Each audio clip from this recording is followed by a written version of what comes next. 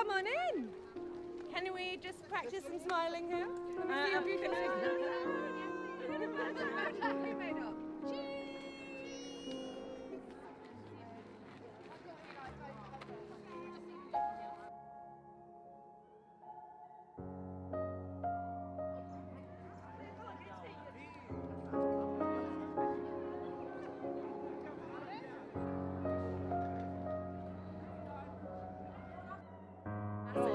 When we came from the car park, we could see it straight away, Yeah. and we didn't realise how big this was going to be.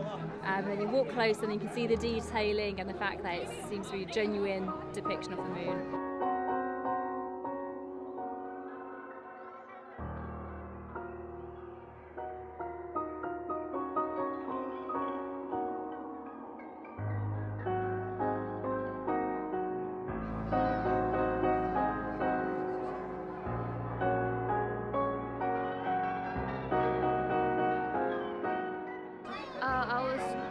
Was traveling by car to pick my mum up and I saw this outside, so I just came to look at.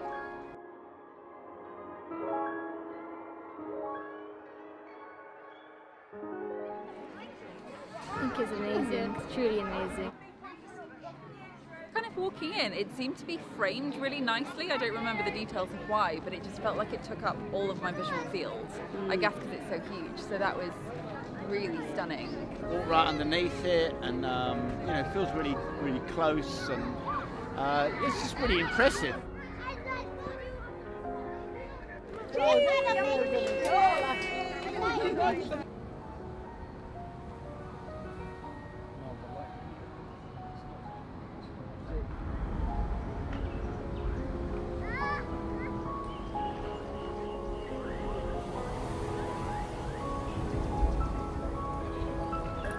It's pretty nice to see something like this in Redbridge, you know. Yes. Sort of thing you might see it on the South Bank or wherever, you know, but see it at Valentine's Park is fantastic. It's really nice. Lovely setting. Yeah.